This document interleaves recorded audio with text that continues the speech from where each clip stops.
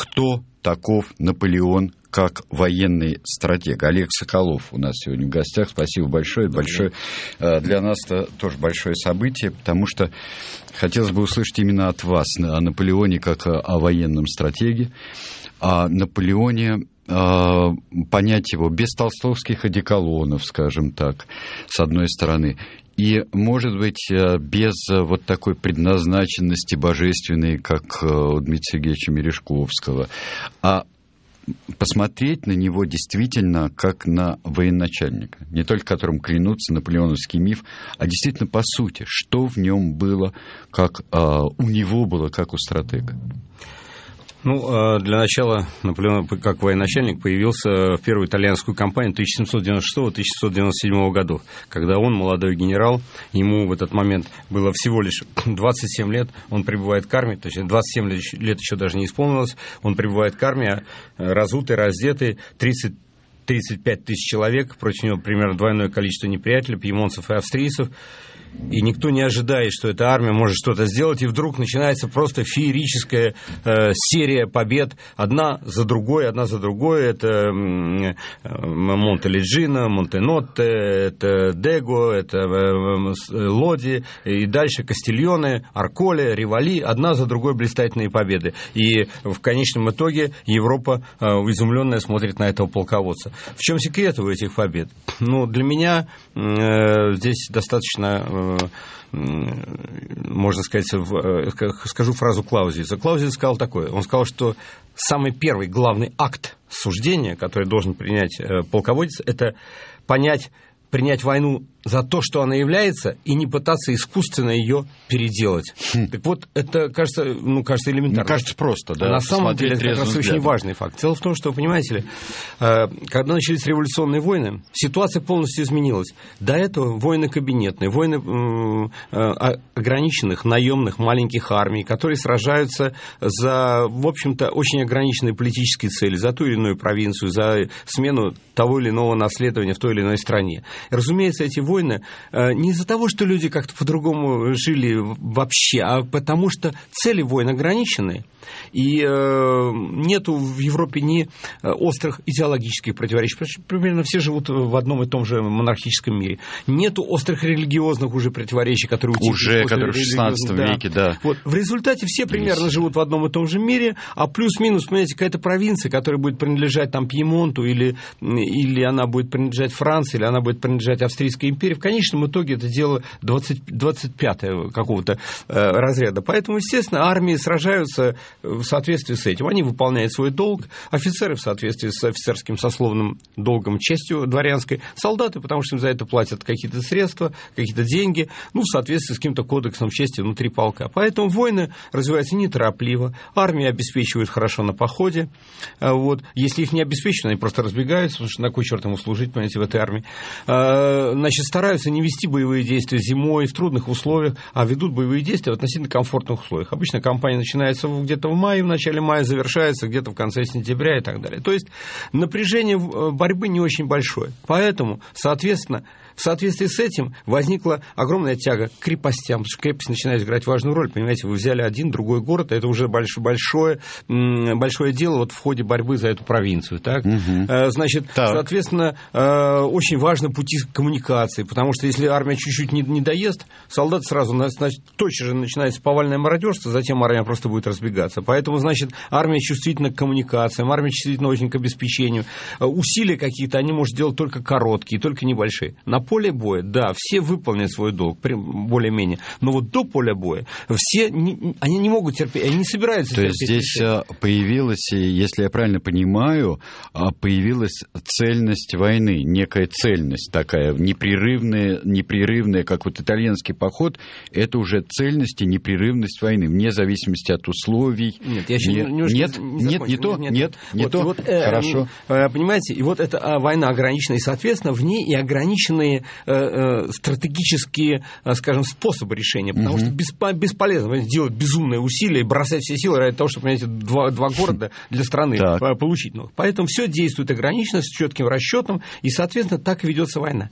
А революция французская, когда произошла, и когда столкнулись два мира, две идеологии, возникла борьба ожесточенная за новый мир или против этого нового мира, когда, с одной стороны, люди с криком «Да здравствует король умирает», с другим «Да здравствует республика», с искренней верой, энергией, порыв. Но, интересный момент, генералы революции они понимали, что у них какое-то в руках их что-то новое, что-то новое мощное оружие. Но когда они были на поле сражения, они дрались с безумной отвагой.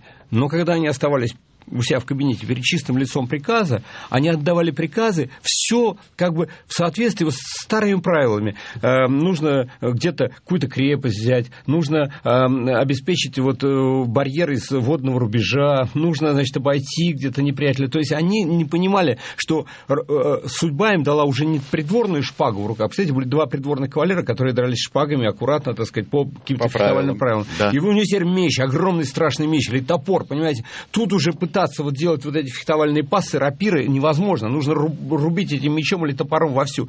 И, а, а генерал никто до этого, вот акт это суждение, великий акт суждения, не был выполнен. А Наполеон-то понял, война стала новой, она другая. И теперь нужно не только на поле сражения, там, положим, какая-то отвага и порыв, но порыв должен быть и стратегические комбинации. Нужно, не надо думать э, о том, понимаете, где там повозки подвезут, еду не подвезут. Это второстепенно. Он сказал, l'intendant suit интендантство за ней будет следовать. Грубо говоря, найдем еще То есть самое главное нам что? Главное решить, победить любой ценой. Решить, что нам делать. Вперед, любой ценой, вперед, ломить, драться, побеждать, форсированные марши и, соответственно, удары, удары, удары, громить живую силу неприятеля. Не плюс-минус один город, города черт с ним, они потом дальше э, падут. Мы должны громить живую силу неприятеля. В принципе, это очень похоже на своровские, так сказать, концепции, но более еще на более высоком уровне. Отныне концепция войны, которую назвал Клаузевиц, а позже Дельбрюк, войны на сокрушение. Вместо войны на измор, как она будет называть Дельбрюк, то есть войны ограниченными методами за ограниченные цели.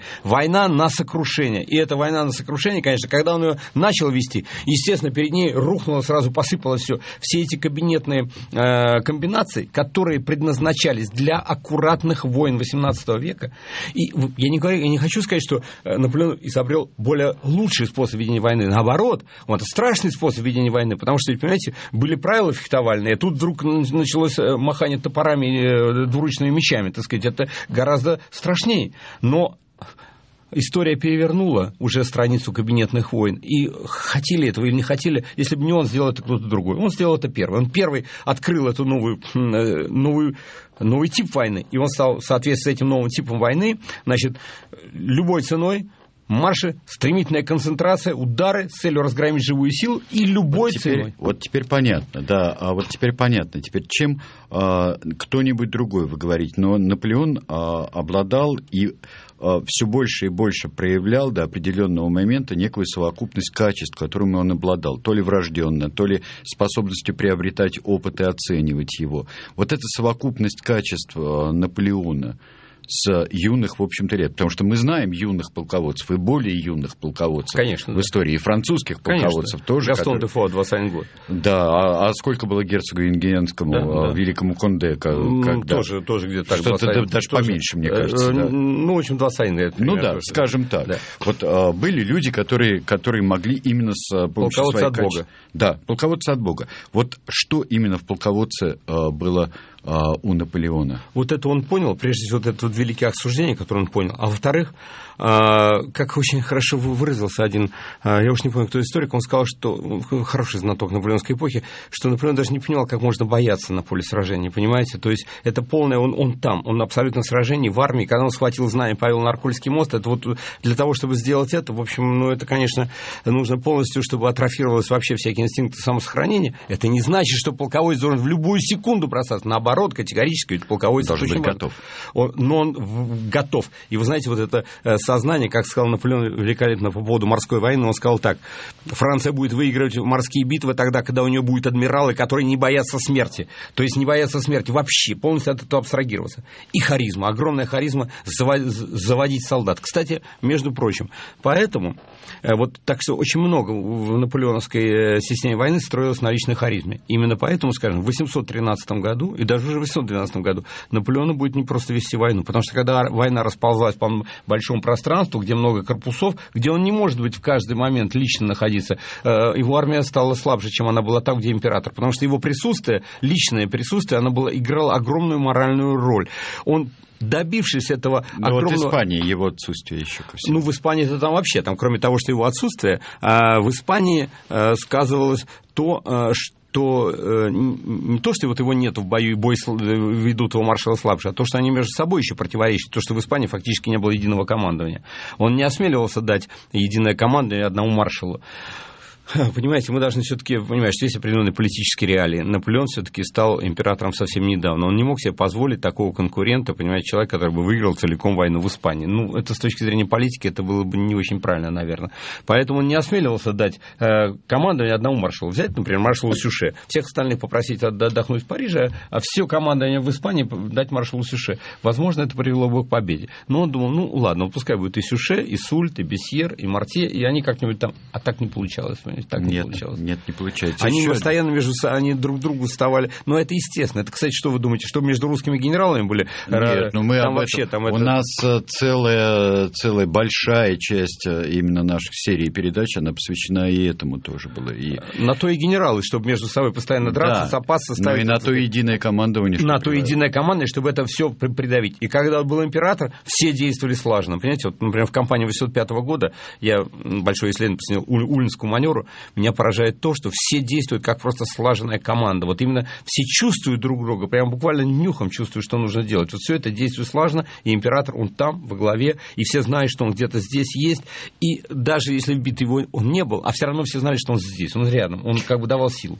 Мы говорили э, еще о кабинетной войне, от которой Наполеон отходит, и э, здесь предлагает новое качество войны, но все равно вот э, именно, конечно, интендантство следует, но э, все равно вот расписать и детализировать э, то, что думает и то, что предполагает Наполеон, это необходимо. И у Наполеона создается аппарат. Ну, тот же самый Бертье, Конечно, который, да. который э, как э, компьютер э, да. все это дело приводит в, в визуаль, визуализирует и конкретизирует. Да, кстати, вот э, перед русской компанией, только сейчас вышла моя книга «Битва двух империй», о подготовке э, вот этой борьбы, собственно говоря, причинах этой борьбы. Я там очень расписан, как э, Наполеон эволюционизировал. Он перед войной 12 года он огромную роль от вел, скажем, подготовки интенданства. И эта война вышла как раз самым неудачным образом, э, потому что он больше всего уделял внимание. Вообще он хотел все расставить все по своим местам и так далее. Кстати, вот здесь все-таки, мне кажется, очень важный момент. Я хотел бы, наверное, сказать, все-таки мы говорим о 12 э, о кампании 12 года, два слова буквально о стратегической подготовке здесь, как Наполеон, как полководец. А, дело в том, что император в 1811 году был совершенно уверен, что русские войска вторгнутся в герцогство Варшавское, ту маленькую часть Польши, которая которая была восстановлена. И э, как э, контрмера он предусмотрел разгром русских войск на Висле. То есть фактически компания, будущая кампания в его голове была построена как э, разгром русских войск на Висле, они должны быть остановлены под Варшавой, он нанесет стремительный удар с фланга и разгромит их под, под Варшавой. И для этого было предусмотрено все, он продумал все, он, он решил первую войну, ну вот сделаю так, чтобы все было, все интендантство было организовано и так далее, а все пошло как раз не так. А вот, может, знаете, это ошибка? Ошибка то, что он так предполагал, что произойдет война так. Может быть, слишком детализировано все это было? Нет, он, ошибка вышла в другом. Он э, не сумел угадать то, что Александр изберет другой алгоритм войны, что Александр от наступательной войны в конечном итоге э, примет решение не переходить, не переходить границу э, русскую с герцогством Варшавским, что она в конечном итоге решит выманить Наполеона на удар на территории России. А Наполеон на эту удочку попадется, он клюнет, он войдет на территорию Российской империи. Вот в этом главный просчет. И как только это все началось, все пошло, все пошло в тартарары, и все подготовленные планы, это к тому, что даже гений, понимаете, может э, совершать. А, а вот такой а, важный момент, который есть небольшой прыжок, мы еще э, потом поговорим да. об особенностях Наполеона как военного стратега. Но если уж мы а, собственно, кампании 12 да. года, имел возможность Наполеон действительно остановиться где-нибудь на линии Смоленска, остановиться, переждать, ну. перегруппироваться и вот теоретическую да, а вот практическая возможность, Вы как она иссякала. Вы понимаете, Наполеон, когда начинал так называемую русскую кампанию, я даже не хочу говорить так, поход в Россию так называемый, потому что для Наполеона, еще раз, предварительно, вот, собственно говоря, до мая 12 года для него будущая война должна была закончиться на территории где-то недалеко от Варшавы. Вообще никуда дальше он не собирался идти, разве что, так сказать, ну, восстановить разве, Литву. Да, да, Литву. Но когда он увидел, что Александр все-таки не двигается, а он уже не мог вот такую огромную махину, которую он перебросил вообще до... из Валенсии войска шли, понимаете, с юга Испании шли, они из Да, Голландии, мы каждый день следим вот, вот в нашей хронике. И вот, э, понимаете, махину эту не остановить, ну что ж, он решил перейти границу, но перейти границу, какая была его задача? Он был уверен, что под Вильно будет сражение. Почему он был уверен, что под Вильно будет сражение? То есть через, через 4 дня после начала похода будет генеральное сражение, в котором он одержит сокрушительную победу, на этом война закончится. Никакого ни похода ни в Смоленск, ни в Москву никуда не предполагалось. Почему? Потому что э, вот об, об этом не говорят. Вильна был третьим городом Российской империи. Население, Моск... население Петербурга пардон, было более 300 тысяч, 325, если я не ошибаюсь. Население Москвы 272 тысячи а население Вильна 56 тысяч, больше, чем Рига, 30 тысяч, больше, чем Киев, 30 тысяч. Вильна – это столица всего запада России. Наполеон был уверен, русские, если они стоят в районе Вильна, если они все стоят в районе Вильна, между Вильной и границей, ну, это же, наверное, не, не из дурости полной, значит, очевидно, если они не решили переходить границу, значит, они будут оборонять Вильну. Значит, они будут стоять, и значит, они будут принимать сражение. Значит, они примут сражение. Тем более, что перед Вильно очень выгодная позиция. Там со стороны, э, как раз с западной стороны Вильна, там великолепные высоты, с которых, ну, просто великолепная оборонительная позиция. И все те сведения, которые ему доста- доставляли его, э, скажем, э, польские, так сказать, коллеги, товарищи, они все говорят о том, что русские примут битву здесь, вот под Вильно. Поэтому вся кампания, в приказах императора можно видеть, что кампания 20-дневная, он предполагал. То есть где-то 4-5 дней до сражения, генеральное сражение под Вильно, короткое преследование русской армии, возможно, удар по армии Багратиона, которая, по его мнению, будет обойдена после, но только после разгрома главной армии. Багратион – это второстепенная задача.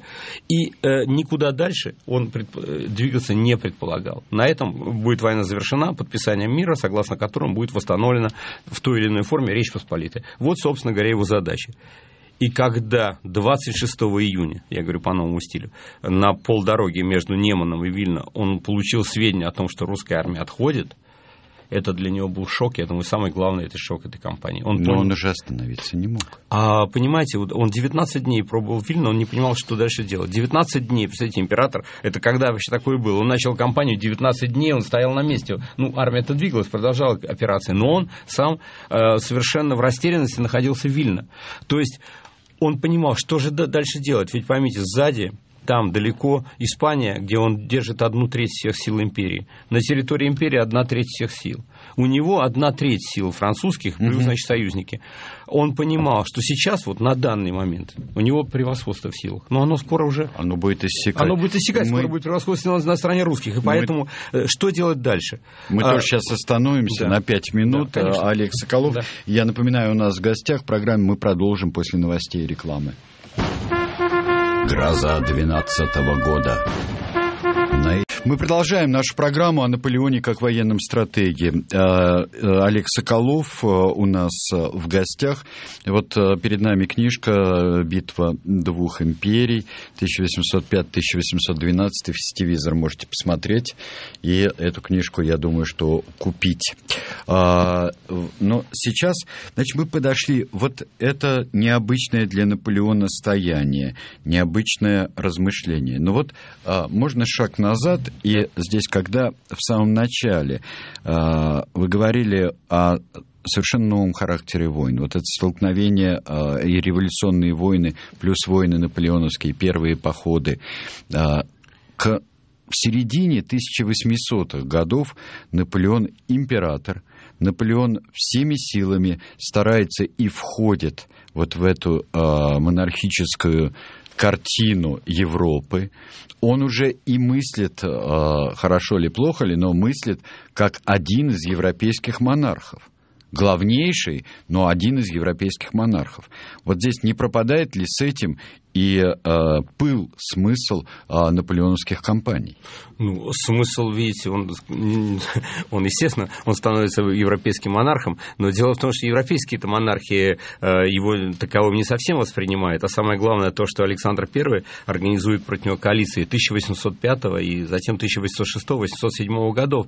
И э, в сознании большинства французов, французских солдат, они продолжают защищать справедливость, не пускай уже не революцию, нет, они защищают, вы понимаете, вот дело в том, что даже в эпоху революции солдаты сражались, они сражались не то, что за какой-то вот там либеральный буржуазно-демократический строй, они сражались за некую какой-то новый справедливый мир. И в их лице, в их, точнее, в их глазах, Наполеон это был их новым королем, народным, справедливым королем, королем без крепостничества, королем, э, который позволяет очень много э, народу и который старается по справедливости вознаградить своих подданных, что, в общем, во многом соответствовало истине. И поэтому для французских солдат, для французских солдат и офицеров, они продолжали пускай это была не борьба революции с, э, с э, феодально-монархической Европой, это была борьба некой империи, где царит справедливость против тех государств, которые ее, на нее постоянно со всех сторон То нападают. все равно подспудные, хоть пяти там напечатанные, но а, да. а, тираны еще есть да, вот, да, вот в каком-то сознании. Да, да они даже не как-то для них все равно вот император у нас другой. Он как будто император. Вот это, но, это, но другой. Но другой, да. Даже на монетах французских до 1806 года была, а, значит, француз, так сказать, императора Французская республика была. Французская республика, то есть оставалась угу. даже, понимаете? То есть, вот Но это, в этом что-то римское В этом, такое, да, римская, да, император да. республики. Даже вначале, собственно говоря, император республики. Слово потом империя, потом появляется императорская знать и так далее. Но при всем при этом эта знать все-таки была другая, и это все чувствовали и сами французы, и европейцы э, других стран. Поэтому... Но здесь еще принятая, э, принятая формула император французов. Император французов, То, что потом да. в июльскую монархию примут уже да. Э, Орлеаны, да, примут да. король, король французов. Да, а, да. вот, это, вот в этом есть что-то и от Карла Великого без сомнения, тогда. Без король франков, император да. франков, французов, то есть людей. Да. Вот здесь это очень, да. это очень важно для. Император Наполеон постоянно обращался вот к этому наследию, он постоянно подчеркивал, что он связь у него не только с французской монархией, а связь еще с древней монархией, франкской. И вот, знаете, такой... Поэтому он всю всем... Э, у него вот, если разбирать вот ту же самую коронацию, у него вся символика последовательно идет да. всех династий, всех империй, у него соединенная. И трехцветное это... знаю при этом. И трехцветное вот, знаете, знамя. такой был французский певец Серж Ляма, он великолепную такую, я бы сказал, ну, это не рок-опера, но почти Наполеон. И там есть такая песенка, где он поет «J'assume tout de Clovis à Robespierre». Я, да. я вбираю все, все от я, я за все отвечаю. За все отвечаю, от подвига до Робеспьера. И это, кстати, это, пожалуй, одно из самых великих э, Наполеоновской империи, что отвечать за все, и за революцию, и за монархию, и за древнюю монархию, попытаться все это, и выдавать почетный легион, когда впервые император раздавал ордена почетного легиона, он раздавал их, а, значит, на щите, который принадлежал Боярду, и шлем, который, ну, по крайней мере, якобы Дюгесклен, ну, знаменитым там, французским там, рыцарем. Вот. Да. Ну, то есть, как бы вот ордена, на которые было написано «Французская республика», выдавали и шлема, и щита самых знаменитых французских рыцарей, и вот это вот все э, как бы... То есть, он, он здесь э, преемственности, вот э, мы видим, что очень, очень странно, кстати говоря, французы э, реагировали, когда э, вот начались э, ну, такие звукосветовые, не реконструкция, а звукосветовые спектакли, что почему это мы вдруг возвращаемся к Людовику XIV, и вот Дом инвалидов, что это, это ведь оттуда иду, идущие из других великих эпох Франции. У него было это осознание не только, что это не мы наш, мы новый мир построим. Да, мир новый, но он опирается, он опирается на, всю да, историю. Это, и в этом, конечно, действительно Наполеон выше на голову многих других политических деятелей, может быть, тысяч других великих политических деятелей. А, такая вот здесь очень важно. Наполеон, оказавшийся снова, э, мы к этому вряд ли будем вот сейчас возвращаться в, в течение 2012 года. Но Наполеон, оказавшийся а, обороняющимся. Наполеон к 14 году, оказавшийся на территории, собственно, Франции. Не, не вот этой огромной империи, а, собственно, Франции.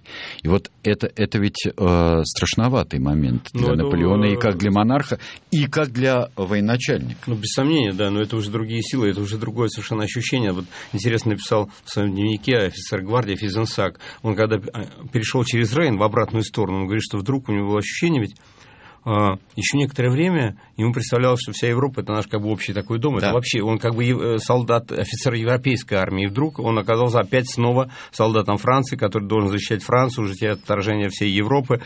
И, ну, это уже другой совершенно, другая империя. Это империя, это снова империя, которая как бы на некоторое время даже где-то возвращается чуть-чуть к якобинской диктатуре, но это все очень быстро, это всего лишь несколько месяцев. Это последняя борьба, э, последняя героическая борьба, но которая, естественно, уже силы были слишком неравны.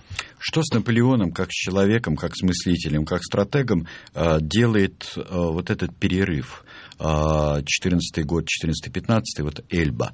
Понятно, что последующие Святая Елена, это будет и осознание, и рефлексия очень важная и по отношению ко всей жизни. А вот здесь вот этот перерыв, вот, вот, вот Эльба, что делает с ним, как с человеком, энергией его и с его мыслью? Ну, вы знаете, э, так сказать, он стал немножко еще более народным императором, потому что он сказал такую фразу, я никогда не видел столько благородства, как среди э, черни, и столько черни, как среди благородных. Так? Угу. Вот эта фраза, которую, возвращаясь э, с острова Эльбы, он не осмелился стать совсем снова монархом революции, но он, в общем, явно, скажем так, полевел. Наполеон, который возвращается с острова Эльбы, бы это Наполеон уже фактически такой вот народной монархии. И э, не знаю, что было бы, если бы он победил при Ватерлоо, но, возможно, это была бы совершенно какая-то другая монархия, и она, бы, без сомнения, была бы уже не европейская, а французская. Но было бы ли это в соответствии с духом Наполеона, сложно сказать.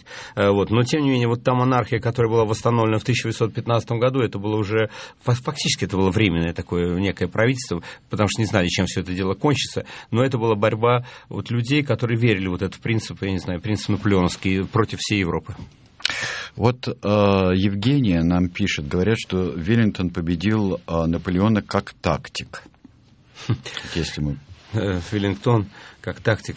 Вы знаете, дело в том, что э, при Ватерлоо, сейчас я немножко не, не думал, что мы будем говорить о Ватерлоо, конечно, немножко нас уводит вообще в другую сторону, но тем не менее, все-таки а, под Ватер, при Ватерлоо у Веллингтона было примерно, примерно столько же войск, сколько у Наполеона, а уже, э, уже в 12-13 часов дня подошли первые прусские корпуса, и в конечном итоге уже ко второй половине дня в двойное превосходство, причем одни с фронта, другие с тыла, понимаете, это уже примерно что-то против лома нет приема, что там как победил Веллингтон как тактик, если бы не было прусаков, то я думаю, что Веллингтона потом бы долго бы отлавливали где-то между Ватерлоо и Брюсселем, понимаете, mm-hmm. и не устояла бы его армия, несмотря на все сделанные ошибки, несмотря на то, что армия Наполеона бита при Ватерлоо, это была уже не та армия, которая... Не та армия, потому что был какой-то надлом произошел среди э, высшего генеральского состава. Вот до русской кампании у всех было то, что Клаузиц назвал полнокровное чувство победы. Это абсолютная уверенность. То есть они шли, куда бы они ни шли, и даже если терпели какие-то поражения временные... Это если... инстинкт победителя. Это инстинкт победителя. Вот и все чувствовали это. А вот начиная после 2012 года, не во время 12 после 2012 года, вдруг возникло, вообще-то нас могут разбить. И это вот как-то у генералов это вызвало другое... Они ну, немножко стали вести себя, появилась какая-то определенная осторожность, неуверенность там и так далее. Но все-таки, все-таки, при, при всем при этом, при Ватерлоо столько было энергии, столько было силы во французской армии, что она разгромила бы этого Веллингтона со всеми его этими англичанами, так сказать, которые... Одна из моих любимых фраз, он не ученик Цезаря, у него за спиной лес. Ну да. Говорит, да. да. Одна из любимых фраз. Сразу выявляются да. и ошибки, и там, конечно, элемент вот, вот великого этого случая, великого случая, вся э, патетическая история Груши и Блюхера и ну, того, что произошло потом. Мне кажется, все-таки нужно вернуться немножко раньше. Возвращаемся. Просто, пришли. понимаете, в чем дело? Я, я сейчас э, э вот ход рассуждения довел до самого 15 -го года, сейчас нам есть возможность э, вернуться. В э, стратегическое именно мышление Наполеона, вот при, принимать войну такой, как она есть. Вот да. такой вот русская компания, так называть, война 12 -го да, года, да. получилась такой, как она есть. Да. Как себя здесь проявляет Наполеон? Но дело в том, что как раз он э, настолько не был готов к такой, потому что он был готов к народной, э, скажем так, к войне массовой, но он не был готов э, к походу в глубину страны, да еще к тому же, где, так сказать, враждебное население будет. Ведь он же готовил эту войну как война либо на территории герцогства Варшавского с коротким преследованием, так сказать, грубо говоря, разгром русской армии под Варшавой и затем просто преследование на территорию Литвы, или битва под Вильно, но в любом случае, вот когда говорят, вот Наполеон там безумец, он хотел идти в глубину России, он не хотел идти в глубину России. Вот я в своей книге на основе документов именно того времени, то, что писалось тогда, какие директивы писали французские командиры того времени, они то, что потом придумывали на основе э, мемуаров, которые написаны через там 40-50 лет, понимаете? Вот. Э, все директивы говорили о том, что это будет война э, либо вообще так сказать, принимают атаку русской армии, либо короткая атака на территории, внимание, на территории, где полностью население было за Наполеона. Потому что на рапорты, так сказать, русских командующих, которые находились на территории Литвы, они говорят, что там вообще брожение сплошное, и что эта территория будет э, там не то, что нам не верна, а там везде будет сопротивление. Конечно, здесь будет, это, это Таким образом, это не поход в какие-то да. далекие, там, понимаете, пространства, тем более, что ни на какую... Вообще Москва не фигурирует ни в одном приказе, э, ни в одной директиве, которая исходит вот э, в наполеонском штабе там в конце 11 Когда появляется? Э, Москва появляется первой, вообще она появляется только, так сказать, уже тогда, когда французские войска где-то подходят к Витебску, но еще это вообще она как так вот мельком. А реально решение о движении на Москву принято только в Смоленске. Угу. Вот когда он не смог, потому что после Вильна, ага, так, после Вильна он, он был уверен в генеральное сражение под Вильно, и победа, мир и все. Но когда это обрушилось, он решил, нет, а все-таки, все-таки где-то я догоню эту русскую армию. И, и так или иначе я ее поймаю, и я Ждать разграб... было невозможно и опасно. Невозможно ждать, да, невозможно и опасно. И вот до Смоленска он шел с надеждой, вот где-то будет битва. Будет она под Витебском, под Смоленском, но битва будет, и опять, все, конец, после этого закончено. И вот в Смоленске, когда он увидел, что битвы это так и не было, и тут у него возникла мысль, послушайте, ну они все равно не хотят, наверное, принять битву, быть может, занятие вот уже недалеко, там сколько там, 350 километров от Смоленска до Москвы, вот занятие этой географической точки, может быть, это решит. И вот здесь это уже все, это уже полный просчет, он, конечно, уже, э, так сказать, здесь уже ясно было, что Москва это как объекты стратегического воздействия э, не слишком удачные. Но русская армия отступала к Москве, поэтому он шел за русской армией. Поэтому он... вот, э, собственно, э, здесь что такое вот именно в этом плане, в котором мы сегодня рассматриваем и события, что такое здесь Бородино?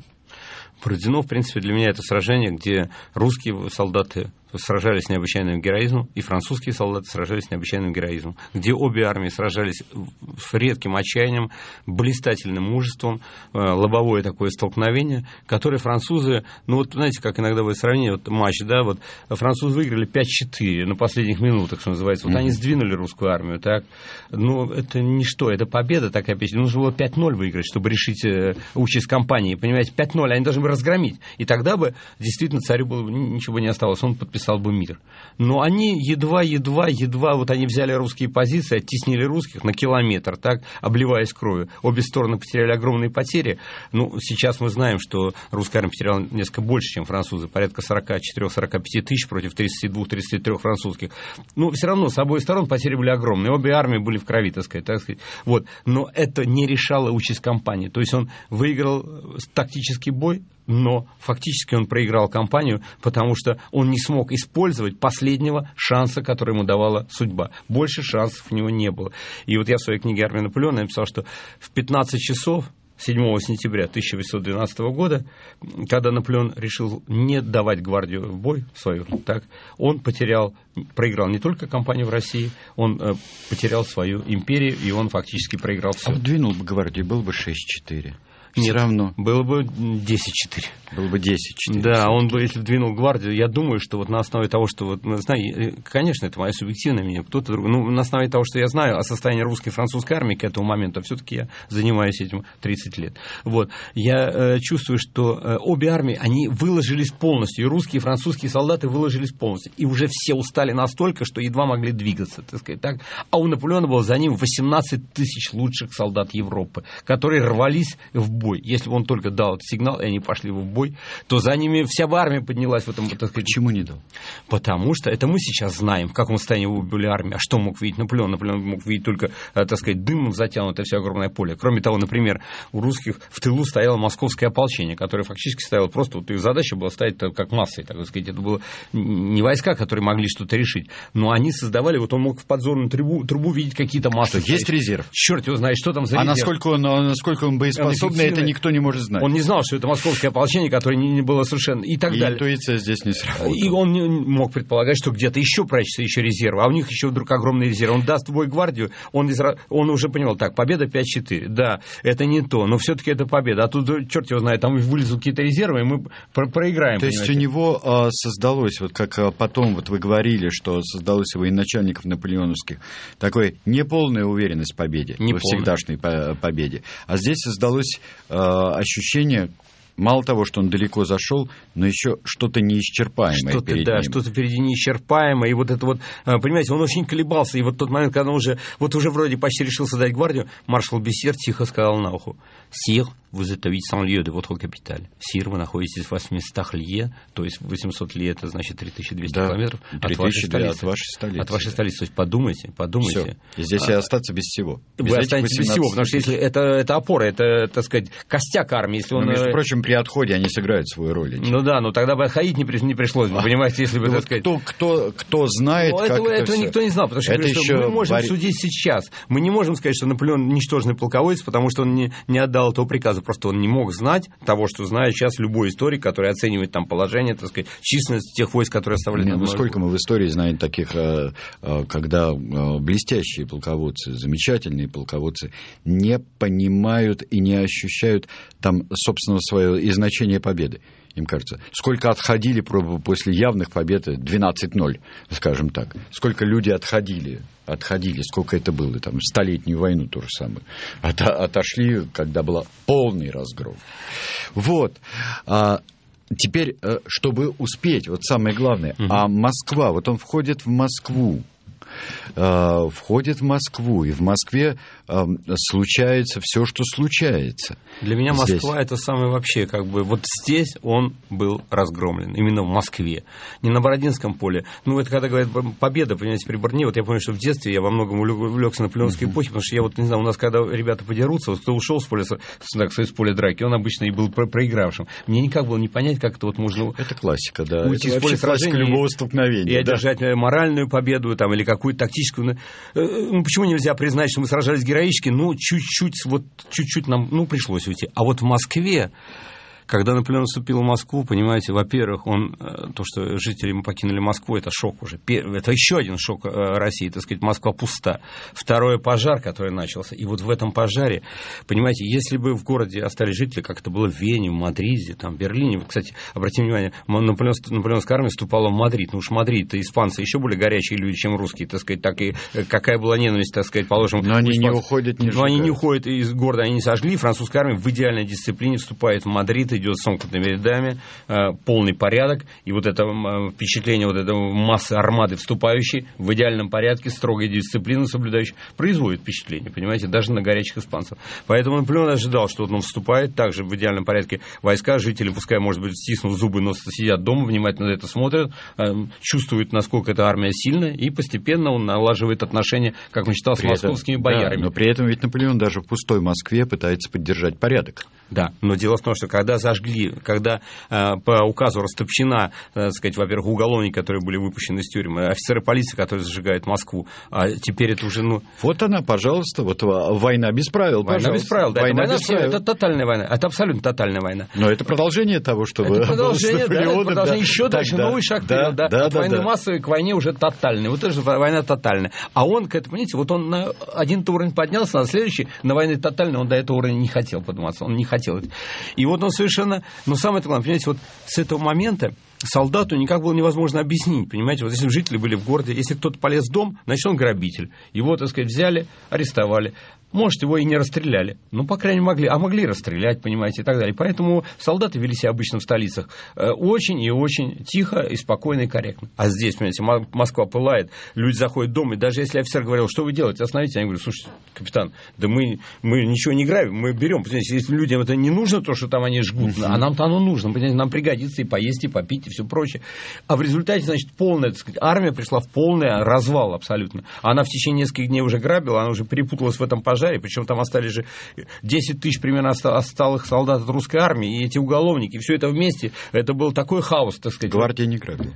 Грабила, как и все. Грабила, грабила да, даже приказ. Все грабили. Да это невозможно было удержать, просто невозможно удержать. Понимаете, такие богатые дома, в них никого нет, их зажигают, причем хватай быстрее, потому что тут же вот э, мужики паскали зажигают Конечно, дома. это, Понимаете, это не да, в человеческих и, силах. это, это провоцирующая ситуация. Это провоцирующая ситуация, и, и провоцирующее ничего не может. Приказы сыпятся один за другим, прекратить, остановить, mm-hmm. распорядиться, и ничего невозможно. Вот только когда Москва уже прогорела, когда они чуть-чуть постепенно, постепенно вели порядок, но армия уже была поражена. Вот она была, понимаете, у солдата до этого, грубо говоря, была мысль о чести, отваге и доблести, а теперь у него мысль о том, как утащить то, что у него в ранце теперь сложно. Да, я еще раз вспоминаю, вспоминаю чудеснейший отрывок, как жалко, что не законченный, пушкинский отрывок Рославлев, там французский офицер пленный Загоскин. говорит, когда... Э, нет, Пушкина, это да? ответ Загоскину. Рослав... Mm. Это дивная совершенно вещь, там, там немножко сбоку все сделано. Uh-huh, uh-huh. А, и там французский пленный офицер говорит, когда Полина а, возмущается, да, вот Полина, зажгли, да, зажгли uh-huh. а, Москву,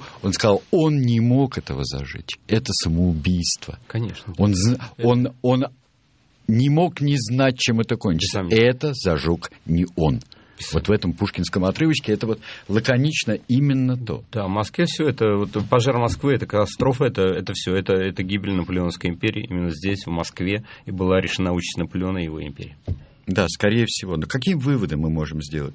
Ведь, э, э ну, э, э, может быть, глупо коротко говорить о, о наследии Наполеона, потому что, конечно, Наполеон повернул и военную мысль э, невероятно. А наследие Наполеона – это весь 19 век. Это, и в частности, и Мольтки, понимаете, и Скобелев. Скобелев, кстати, наш величайший генерал, он не просто... Э, я нашел ну, тут несколько дней назад фразу, которой был просто потрясен генерал Скобелев о Наполеоне. Я вообще был удивлен, что, оказывается, полностью анализ отношений между Наполеоном Александром. Скобелев полностью подтверждает то, что я говорил, э, и писал в своих книгах, он подтверждает о том, что действительно Наполеон предлагал Александру действительно потрясающую комбинацию, он не очень понял, понимает Скобелев, почему Александр этого не принял и пошел по пути, который в конечном итоге привел к, к тому, что Россия и Франция передрались, а между ними возникла страшная ощетинившаяся сталью штыков Германская Конечно, империя, которая потом дала и тем, империя, и да. тем, и другим, в то время как Наполеон предлагал Александру и мир, союз и э, возможность, перспективу развития России в сторону Константинополя, вплоть до Константинополя.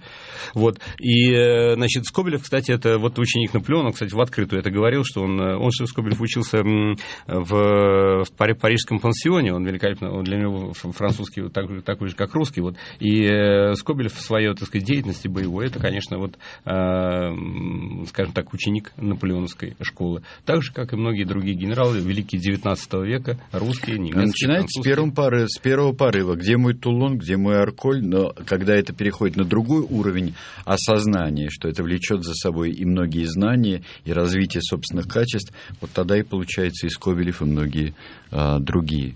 Спасибо большое, Олег Соколов, Наполеон как военный стратег.